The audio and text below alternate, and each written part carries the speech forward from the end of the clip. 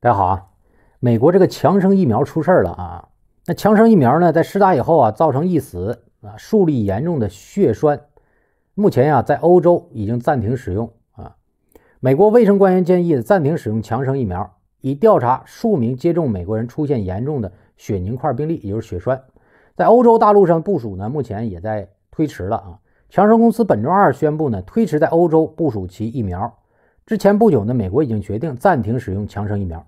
在法国，本周正在等候的，呃，强生疫苗呢也没有到来。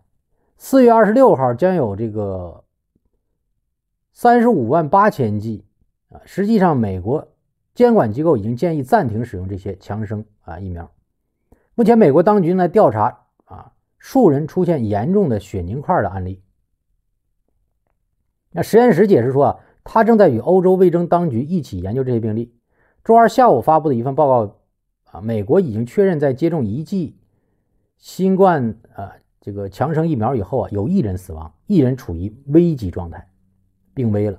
美国药物药品监督呃呃管理局 FDA 药品管理局 FDA 早些时候在一份声明中表示啊，正在调查美国报告的六例接种疫苗后出现严重血凝块的案例。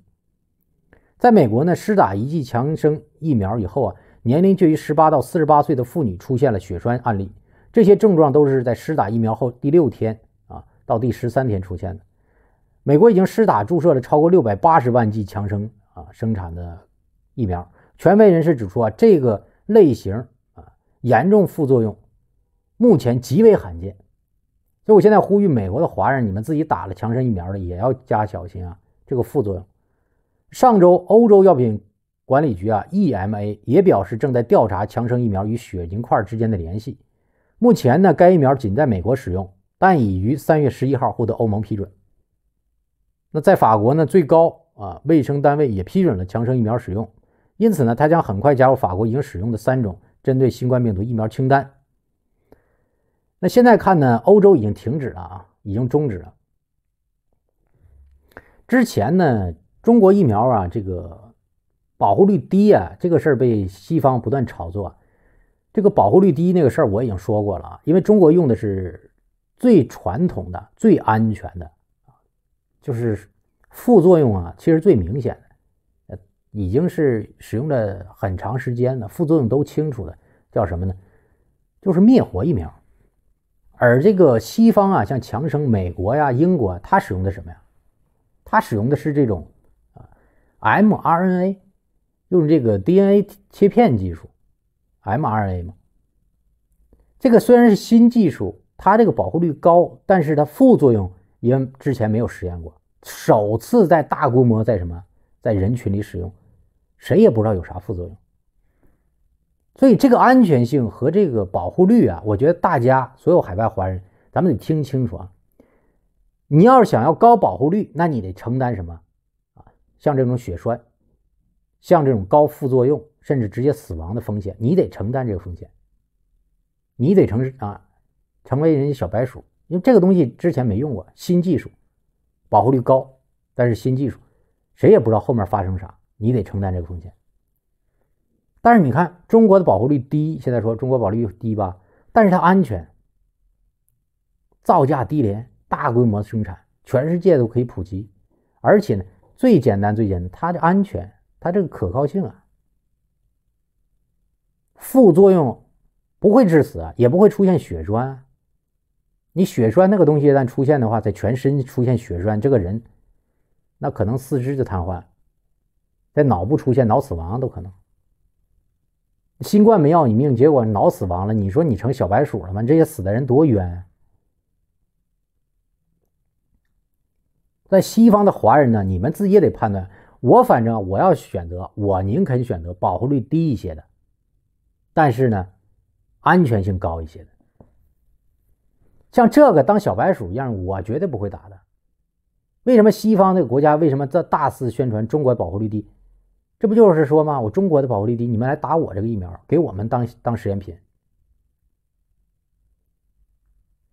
我告诉你，西方有很多政治家，你包括阿联酋的那个阿联酋的那个酋长，他为什么打中国疫苗？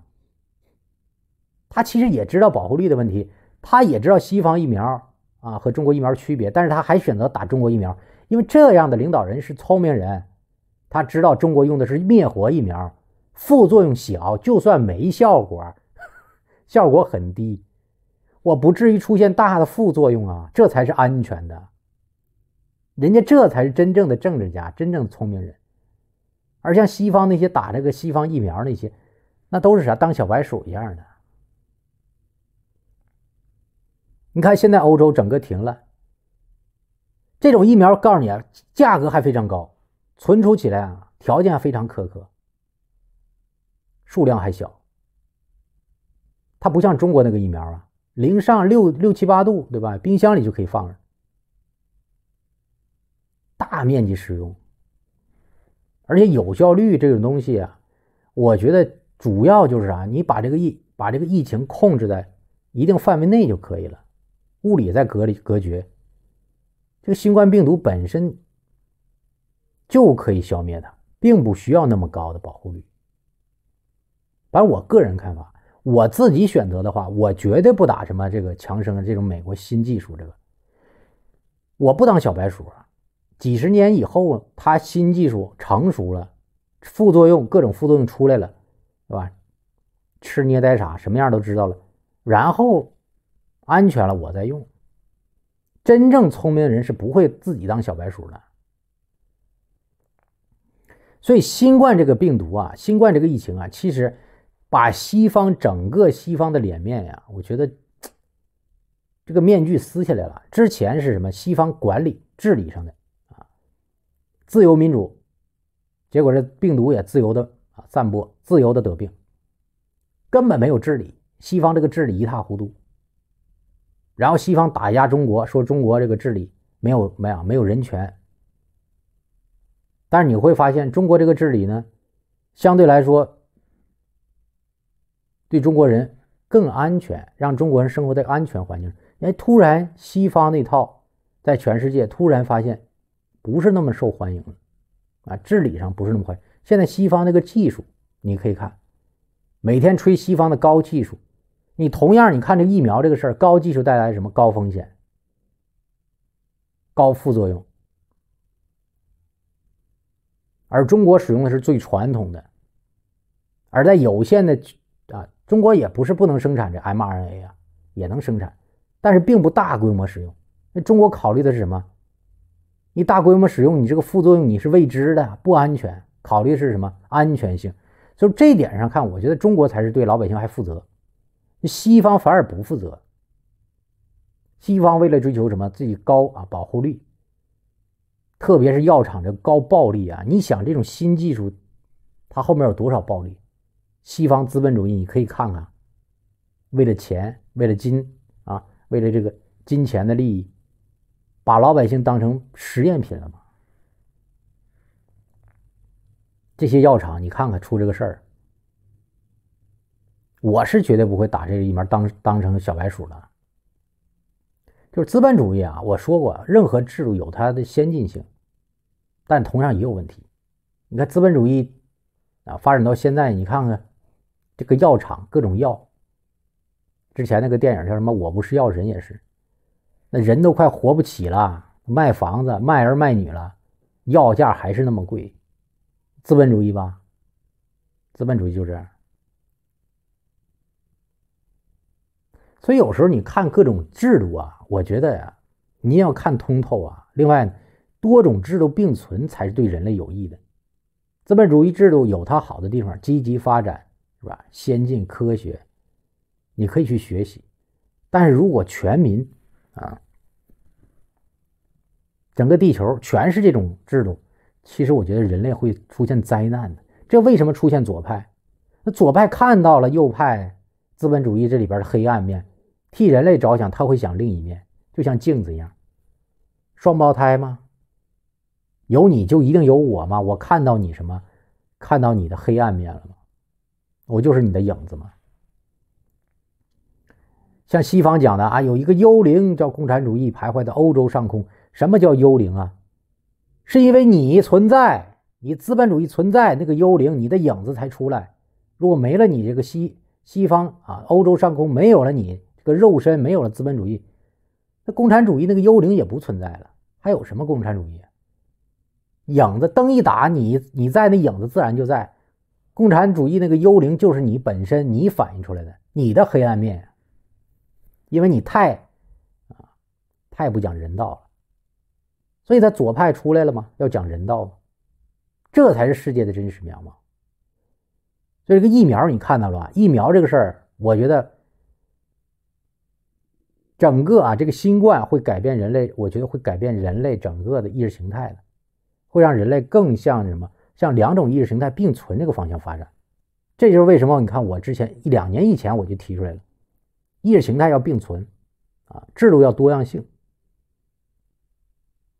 这个疫情你看突然一下子，也不知道是上帝眷顾啊，还是这个是不是老天爷有有眼？我提出这理论以后一直没有例证啊，很多人不相信，有的人说这个西方那个好，有的说是东方这个好。疫情一出来啊，这些事儿一看。哎，马上你看，跟我这个说法一下印证了。老天爷拿这么大一个疫情给我作证，正好赶上了。我觉得我是被老天眷顾的人啊，确实有这个感觉。你看我频道的这些人，你们是也是有幸的啊，咱们也是有缘。你能知道我的想法，制度本身就是多样的。另外，以后谁再跟你说欧洲上空徘徊这个幽灵啊，叫共产主义，你直接告诉他，那不叫幽灵。那是资本主义的影子，这俩制度是并存的。正因为人类看到了你资本主义黑暗的一面，你这个邪恶的影子，自然要反对你啊，自然你的对立面就出来了。其实是一体的。